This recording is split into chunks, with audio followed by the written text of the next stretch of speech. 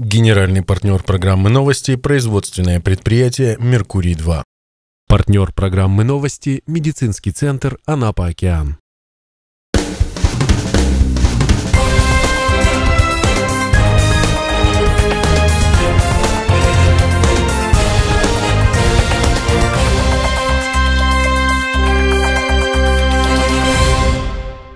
В эфире новости Анапа региона. Я Татьяна Григорьева. Здравствуйте. Смотрите сегодня в выпуске. Салат с тараканами или детская шалость. Что подают детям на обед в школе номер 5. Свою проверку устроил родительский контроль. Сладкая болезнь с горькими последствиями. Что нужно знать о сахарном диабете и как не попасть в группу риска. Анапа впала в средневековье. В культурную атмосферу эпохи замков, рыцарей и королей анапчан погрузил концерт органной и инструментальной музыки. Автовокзал переедет из центра Анапы в район железнодорожного вокзала. Речь об этом шла сегодня на общегородском планерном совещании. Встретиться с инвесторами и проработать проект Юрий Поляков поручил своему заместителю Яне Дуплякиной. Какие еще задачи поставил глава Анапы на планерке, расскажем в нашем материале. Заместитель главы Анапы Анжела Студеникина доложила, получено разрешение на строительство нового здания детского сада «Орленок» на улице Крымской. В рамках выполнения поручения губернатора Краснодарского края завершается работа по постановке на кадастровый учет парков и скверов. На территории муниципального образования города Курорта Анапа 39 таких зон, из них 27 у нас поставлены на государственный кадастровый учет. И в отношении 12 я аннулирую поручение до 24 ноября поставить на государственный кадастровый учет и обеспечить государственную регистрацию данных земельных участков. В продолжение темы прозвучал вопрос главы Анапы о создании сквера в селе Супсех на улице Советской. Юрию Полякову доложили, что идут подготовительные работы по расчистке территории. Также в Супсехском округе ремонтируют дороги и создают условия для отвода паводковых вод. Завершены работы по капитальному ремонту канализации по улице Фрунзе в селе Супсех. Э, был выполнен монтаж канализационной трубы протяженностью трассы 156 метров. Продолжаются работы по строительству ливневой канализации по улице Горького в селе Варваровка. Земельные работы и установка лотков элементов. А, проложено лотков около 40 метров. Далее мы уже тогда приступим к отсыпке дороги, непосредственно самой дороги, будет делать, выполнять э, эти работы в адресу «Вираж» к садику. По результатам выезда в Витязево и общения главы Анапы с местными жителями звучит отчет. Завершается строительство тротуара на Афинской, отсыпана улица Школьная. И у вас по Витязево все жалобы, которые были, везде отсыпали-то? Не везде? Значит, на контроль. Потому что там, где люди жалуются, ну, уже реально мы поехали, там ямы об, об по колено.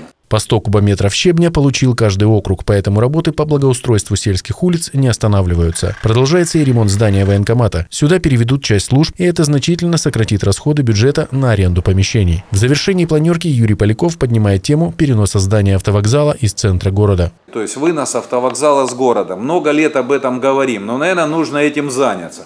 Юрий Егорович, вы, Яна Адалетовна, собирайтесь, разговаривайте, мнение есть. Земля есть около ЖД вокзала. Есть инвестор, который хочет а зайти. ЖД вокзал, пожалуйста, Анжела Анатольевна, не, не спускать. Я сказал, до курортного сезона, чтобы там было все сделано.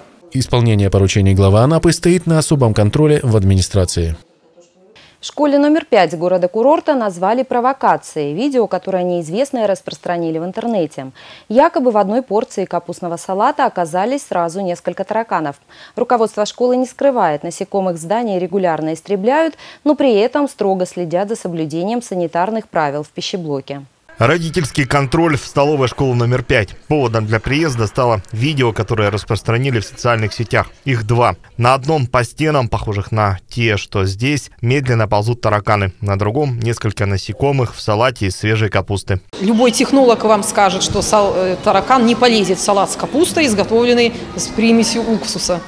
Это невозможно. То есть, и понятно, что там эти крики детей. Технологи в столовой уточнили, не уксусная кислота, а лимонная, но тараканы и ее тоже сторонятся. Во-вторых, они мертвые уже. В администрации школы не скрывают, зданию больше полувека. Тараканы здесь живут давно. Также регулярно в соответствии с регламентом их травят. Видео показали дезинсекторам. Специалисты сказали, что это умирающие особи в разной стадии развития, бегущие от отравы, которую рассыпают в подвале и других местах. Обработка была 3 ноября, перед тремя выходными днями. Большая вероятность, что в салат просто набросали уже мертвых насекомых, чтобы снять видео. Впервые его начали распространять через одну из популярных программ для обмена сообщениями.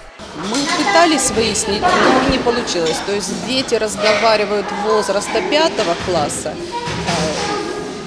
В это ну, выложить время... мог любой. Выложить мог абсолютно любой и не обязательно учащийся нашей школы и даже нашего города. В школе предполагают, что это может быть обычное хулиганство. Счет таким сюжетом в интернете сегодня идет на сотни. Возможно также, что кто-то пытался таким образом насолить педагогам. Кроме того, столовую уже 10 лет обслуживает предприниматель. Да и на рынке дезинфекции сегодня серьезная конкуренция. Так, например, в Тюмени мальчишку поймали в подъезде жилого дома с пакетом тараканов. Тот признался, что неизвестный предложил провести такую операцию, дав 100 рублей. Директор учебного заведения около месяца находится в отпуске. Руководителя проинформировали и ждут ее возвращения. Пока же на эту пятницу назначили повторную обработку. Кубань – единственный регион в стране, где создан Союз казачьей молодежи. В него входят воспитанники казачьих классов, группы кадетских корпусов. В Анапе за круглым столом обсудили развитие местного отделения Союза представителей районного казачьего общества, работники сферы образования, а также заместитель главы города, курирующий вопросы казачества. Основная идея – максимальное вовлечение в движение не только воспитанников казачьих классов, но и студентов. По словам заместителя главы Анапы Сергея Козлова, сегодня молодежи нужно уделять еще больше внимания. В Анапе 2000 юных казачат. Чтобы воспитать их в духе патриотизма, высокие требования предъявляют не только казакам-наставникам, но и классным руководителям. Кроме того, казачество среди молодежи должно развиваться в разных направлениях, но при этом сохранять традиции и колорит. Культура, да, это одно из направлений. Образование, да. Управление по делам молодежи, непосредственная поддержка, опыт громадный есть в работе с молодежью. А как работать с казачьей молодежью? Наверное, они близки по тематике, но выделить ее нужно как структуру, обособленную, не обособленную, не обособленную, не оторванную от жизни она должна быть на современном уровне. Необходимо перенимать и опыт соседних городов. В качестве примера атаман Анапского районного казачьего общества Валерий Плотников привел час славы Кубани, который уже стал своеобразной визитной карточкой Краснодара. В то же время Анапа не отстает. Казачество на курорте давно является неотъемлемой частью современной культуры. Анапский район никогда не стоял на месте. Мы этим занимаемся уже 20 лет, воспитанием подрастающего поколения. Э, сегодня наши планы не разрушить, что мы начали, а плавно войти в Союз казачьей молодежи и э, с принятием конструктивных наших предложений все-таки осуществлять э, воспитание подрастающего поколения в плане патриотизма и любви к нашей Родине. В ближайшее время на территории 18-й школы появится курень, где будут воссозданы предметы быта казаков для более детального изучения самобытной казачьей культуры. Для жителей улицы Серебряная в поселке Субсех произошло знаковое событие. Дорога, состояние которой вызывало сотни нареканий, а в период дождей становилась настоящим препятствием, получила вторую жизнь. Там не только уложили новый асфальт, но и существенно расширили проезжую часть. Местные жители неоднократно жаловались в администрацию на состояние улицы Серебряная. Отсутствие твердого покрытия, многочисленные ямы. После обильных осадков дорога и вовсе превращалась в полосу препятствий. Было принято решение изыскать средства на капитальный ремонт дороги. И вот работы уже подходят к завершению. За две недели удалось постелить, э, значит, сперва пройти грейдером, произвести грейдирование улицы Серебряной от улицы Терешковой до улицы Жолоба. После чего был положен асфальт толщиной 10 сантиметров, э, значит, 1100 э, метров это протяженность, и ширина дорожного полотна составляет 4,5 метра. Жители отмечают, событие долгожданное. Теперь школьникам не нужно будет надевать резиновые сапоги и штурмовать водяные и грязевые преграды. Да здесь же грязь непролазная была, невозможно было пройти. Осень, зима – это наша проблема. Детей надо было провожать до остановки куда-то там на ветеран и назад. Ну а сейчас у нас красота.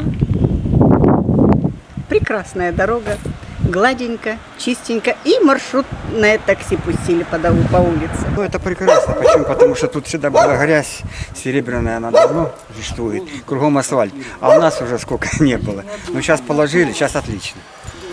Сейчас просто красота. Новые дороги и новая жизнь. Теперь по улице Серебряная будут ездить маршрутные автобусы. В данный момент этот вопрос прорабатывается на комиссии по безопасности дорожного движения. существует обращение жителей, потому что в данное время существует закольцованность именно по улице Жолоба. Э, маршруты 125 и 135, которые шли у нас э, по селу Субсех, проходили по улице Жолоба до конца, до улицы Серебряной, и там у нас получалась разворотная площадка. В данный момент мы один маршрут сохраним также, а второй будет проходить по улице Серебряной с выходом на Кирова, и получится закольцовка и охват, ну чуть ли не пол села будет охвачено этим маршрутом.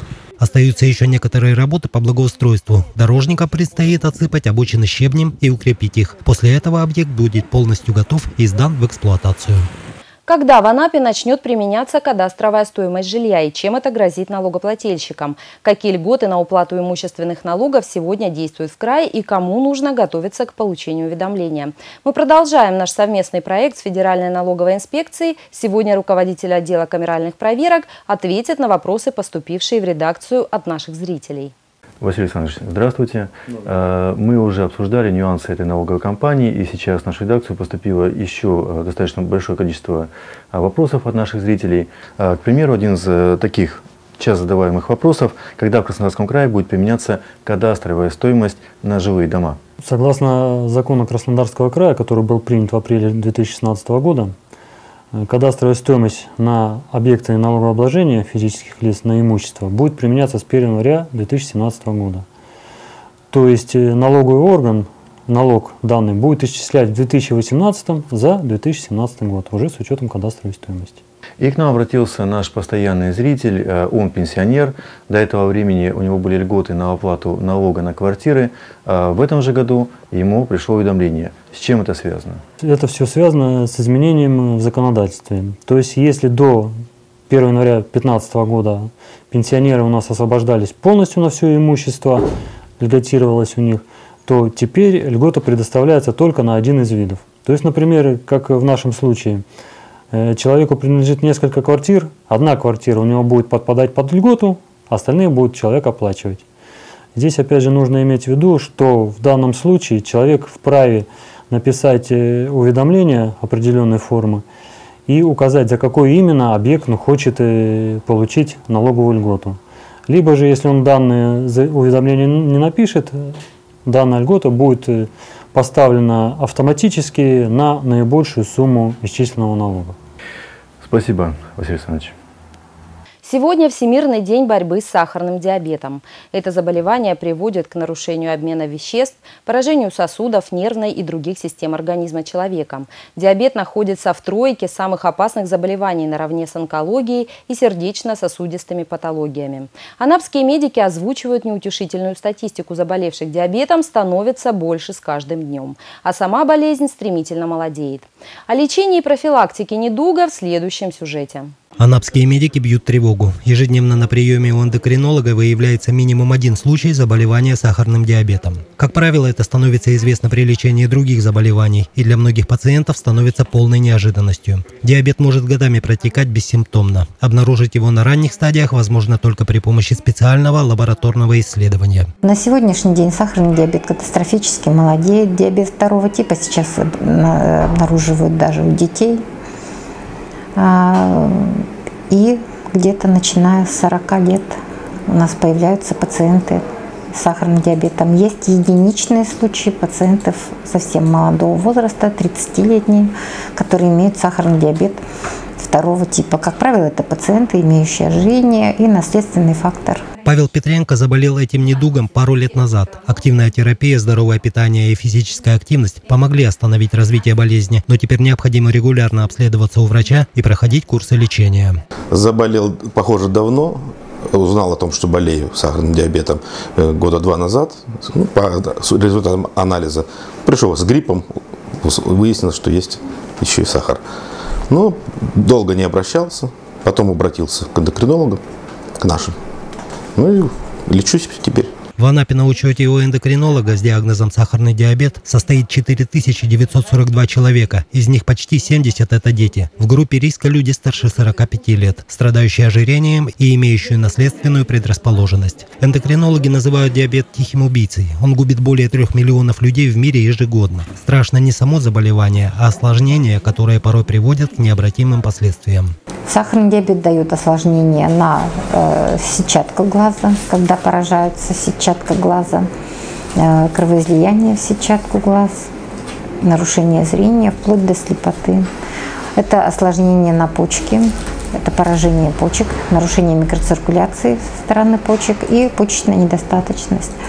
Это поражение микроциркуляции в области сердца, это развитие ишемической болезни сердца, это поражение крупных сосудов конечностей, нижних конечностей, в том числе вплоть до развития гангрены с ампутациями. То есть осложнения сахарного диабета самые тяжелые для э, жизни человека и э, вплоть до смертельных. Диабет развивается крайне медленно в течение 15-20 лет. Человек может и не знать, что у него повышен сахар, поэтому важно уделять внимание профилактике. Для этого ежегодно в городской поликлинике проводится бесплатная диспансеризация населения. Кроме того, анапские медики ждут на прием всех, кто заподозрит у себя симптомы заболевания. Среди них постоянная жажда, повышенный аппетит, запах ацетона в выдыхаемом воздухе. Но все же самой эффективной профилактикой по-прежнему остается здоровое питание и активный образ жизни. Овации и крики «Браво!» сопровождали выступление музыкального коллектива, который исполняет средневековую музыку на старинных инструментах. Концерт прошел в городском театре в программе «Советская, духовная и народная музыка». Самая юная участница коллектива – победитель конкурса в Ирландии.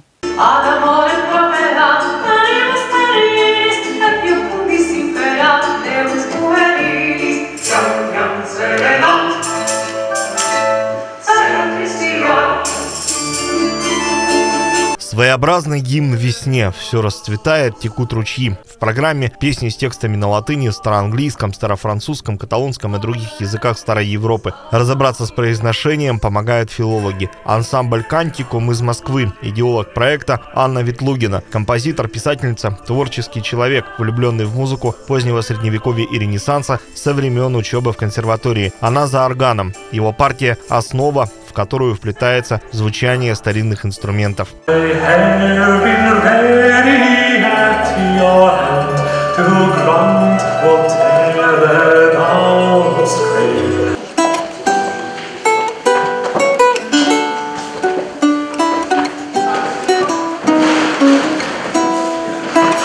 Твоим зеленым рукавам я жизнь без ропота отдам. Это перевод Маршака, английская народная песня. Первые известные упоминания о ней датируются 16 веком. Петр Лилюк пришел в ансамбль, владея классической гитарой. Освоил несколько старинных щипковых инструментов, включая балалайку. Сейчас у него в руках лютня, а самым первым оказался ее ближневосточный предок – алюд. Была мысль, что сделать надо новое звучание, чтобы оно было более аутентичным, более похожим на старинное. Причем даже э, современные вещи начинают звучать совсем по-другому. Вот. И она как раз уезжала в это время в отпуск. Она говорит, ну вот тебе инструмент, вот осваивай, там парочку песен выучи, как раз у нас там выступление наклевывается. Вот. Потом оказалось, что она пошутила, вот а я-то не знал, я за эти две недели, наверное, половину пальцев стер. Ну, выучил там партии для двух песен. И прозвучало оно очень вкусненько. И мы поняли, что вот, хорошо, когда используется другой инструмент, даже много нот не надо. Еще один музыкальный оттенок – кельтская арфа. Софии сейчас 13 лет. В 2014 году она завоевала главный приз на фестивале в Ирландии, на гербе которой изображен похожий инструмент.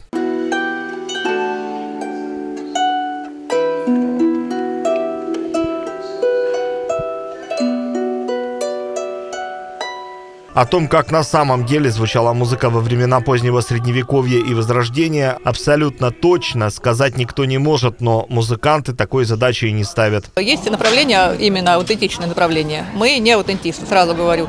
А, у нас другая ситуация. Вот как, допустим, пишут сейчас романы фэнтези, да? Мы фэнтези в музыке.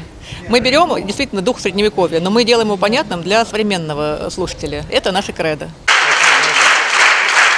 Так провожали гостей. Зал городского театра оказался не наполовину пуст, а наполовину полон. Я люблю орган, очень люблю. Орган стараюсь не пропускать. Но очень необычно. То, что вот, наверное, нам не хватает сейчас. Жена бы тоже пришла, но сидит с малышом. Вот. И поэтому мы взяли двух дочек. Замечательно, нам очень понравилось. Это очень необычно. Вот Орган. такой, да, и орган, да и, собственно говоря, и лютня. Необычно. Мы, мы не, не привыкли к такой музыке, и мы остались крайне довольны. В Анапе музыканты впервые признаются, что часто переживают перед концертами. Тем приятнее потом получать позитивный отклик из зала и повод, чтобы вернуться. И в завершении выпуска информация о наших партнерах. Производственное предприятие «Меркурий-2» успешно ведет строительство многоквартирного комплекса «Кавказ». Строительная компания приглашает приобрести надежную недвижимость по разумным ценам. Деловой партнер программы новости «Медицинский центр Анапа-Океан» предлагает качественную комплексную медицинскую помощь, начиная от первичной консультации и диагностики, амбулаторно-поликлинического и стационарного лечения, включая реабилитацию. Доверяйте свое здоровье профессионалам. Все выпуски новостей вы всегда можете найти на нашем сайте anaporegion.ru. А я с вами прощаюсь. До новых встреч в эфире. Доступные квартиры в комплексе «Кавказ» от надежного застройщика «Меркурий-2» в курортном районе Анапы. Детские и спортивные площадки, автопарковка, квартиры с видом на море. Рассрочка оплаты. Первая очередь уже сдана в эксплуатацию. Звоните 48 300. Медицинская программа для вашего ребенка. Ежемесячный профилактический осмотр. Неограниченное посещение врача-педиатра в случае болезни. Скидки на дополнительные услуги центра до 20%. От 3500 рублей в год. Анапа Океан. Ваше здоровье в надежных руках. Подробности по телефону 424 19.